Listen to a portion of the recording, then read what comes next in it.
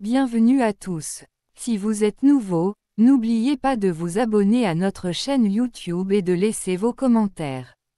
Votre soutien est essentiel pour notre développement et nous aidera à vous offrir encore plus de contenu. Exercice 6. Page 31. Complétez le tableau suivant en mettant une croix dans la case, qui correspond à l'état physique convenable.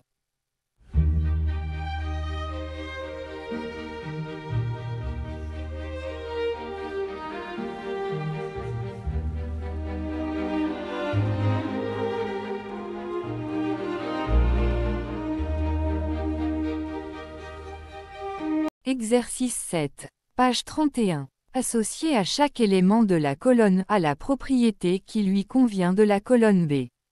Le clou en acier, saisissable avec les doigts. Le lait, a un volume propre, mais n'a pas de forme propre. L'air, occupe tout l'espace disponible.